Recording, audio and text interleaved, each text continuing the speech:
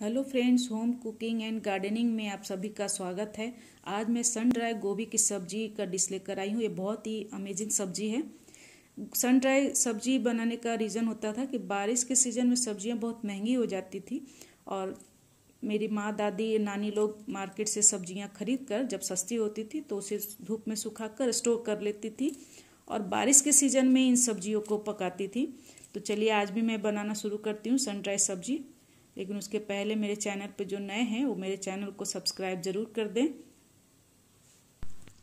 तो फ्रेंड्स, ये है वो खास इंग्रेडिएंट जिसकी मैं आज सब्ज़ी बनाने वाली हूँ, ये ड्राई गोभी। जब ये रॉ होती है तो हम इसमें इस तरह से माला बनाकर, मैं इसे धागे में पिरो कर माला बनाकर धूप में सुखाती हूँ। सुखाने के बाद जो है, ये इस तरह से पूरा ड्राई हो जाता है। ड्राई होने के बाद ये ब्राउन कलर इस तरह से दिखता है, जो कि देखने में अच्छा नहीं, लेकिन सब्ज़ी इसकी बहुत अच्छी बनती है। तो फ्रेंड्स इसे बनाने से पहले जो है इसे उबालना होता है। मैं इसे एक बड़े बर्तन में गोभी ले ली हूँ और मैं इसमें बहुत सारा, थोड़ा पानी डाल दूँगी। इसे उबालूँगी गैस पे। उबालने के बाद जो ये जो छोटी छोटी गोभी है, साइज़ में डबल हो जाएगी। फ्रेंड्स देख सकते हैं, इसमें उबाला गया। अब मैं इसे ढक कर पाँच मिनट के लिए और पकाऊँगी। तो फ्रेंड्स गोभियों को मैंने पाँच मिनट तक उबाल दिया। उबालने के बाद मैं ठंडे होने के लिए रख दी थी देखिए, ये उबल गया। अभी साइज़ में डबल भी हो गया है सभी गोभी। अब मैं इसे सब्ज़ी बनाऊँगी। गोभी को मैं ठंडे पानी से धो दी हूँ। इसे मैं एक एक पीस को जो है, इस तरह से छोटे छोटे टुकड़े में, देखिए छोटे छोटे टुकड़ों में मैं इसे तोड़ लूँगी। इस तरह से। सारे गोभियों को मैं छोटे छोटे पीस में तोड़ के रख लूँगी, फिर मैं इसे सब्ज़ी बनाऊँगी। तो फ्रेंड्स, कढ़ाई मैंने गरम होने दे दिया है।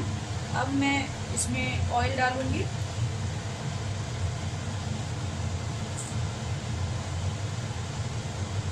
वन टेबल स्पून के करीब मैं ऑयल डालूँगी। अब मैं इसमें डालूँगी हाफ़ टी स्पून जीरा। एक सूखी लाल मिर्च, एक तेज पत्ता, थोड़ी सी हींग। अब मैं इसमें डालूँगी प्याज। प्याज को थोड़ा ब्राउन होने तक फ्राई करूँगी। तो फ्रेंड्स, देख सकते हैं प्याज हल्का ब्राउन हो गया है। अब मैं प्याज के टेस्ट के हिसाब से नमक और हल्दी डालूँगी। यहाँ पे मैंने वन फोर्थ टी स्पून हल्दी लिया है और वन फोर्थ टी स्पून मैंने नमक भी डाला है। अब इसे थोड़ा फ्राई करूँगी। दो मिनट तक मैंने प्याज को फ्राई कर लिया है। अब मैं इसमें गोभी डालूँगी। ये आप देख सकते हैं, जैसे मैंने छोटे छोटे पीस में तोड़ लिया है। मैं इसे इसमें डाल दूँगी। गोभी डालने के बाद मैं इसे पाँच मिनट तक ढक कर और फ्राई करूँगी। मैंने फ्लेम मीडियम कर दिया है। अब मैं इसे ढक कर पाँच मिनट तक पकाऊँगी।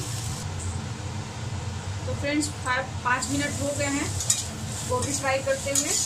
अब मैं इसमें मसाले डालूँगी। पहले थोड़ा सा इसमें और एक पिंच के करीब हल्दी और डालूँगी। टेस्ट के हिसाब से थोड़ी सी नमक मैं और डालूँगी, गोभी के हिसाब से। अब मैं डालूँगी इसमें टेस्ट के according red chilli powder. Half teaspoon धनिया powder. Half teaspoon black pepper powder. अब मैं इसे पाँच मिनट तक ढक कर और फ्राई करूँगी। तो फ्रेंड्स पकाते हुए मैं मुझे पाँच मिनट हो गए हैं। अब मैं इसमें थोड़ा सा पानी डालूँगी। हंड्रेड एम के करीब मैंने इसमें पानी डाला, क्योंकि गोभी पहले से भी थोड़ी पकी हुई है। और अब मैं इसमें हाफ़ टी स्पून के करीब गरम मसाला पाउडर डालूँगी।